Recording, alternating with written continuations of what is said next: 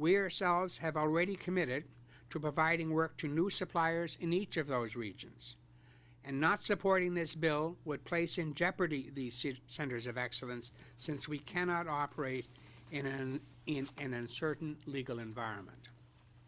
Well, you know, the, the, I, I think the point uh, here around th- this thing is we are not prepared to make that scope of a financial commitment and do so in an environment of legal, uh, uh, legal uncertainty. There are other alternatives out there, sir, other than the C series as well, as I'm sure you know. There are other manufacturers who make comparable type airplanes.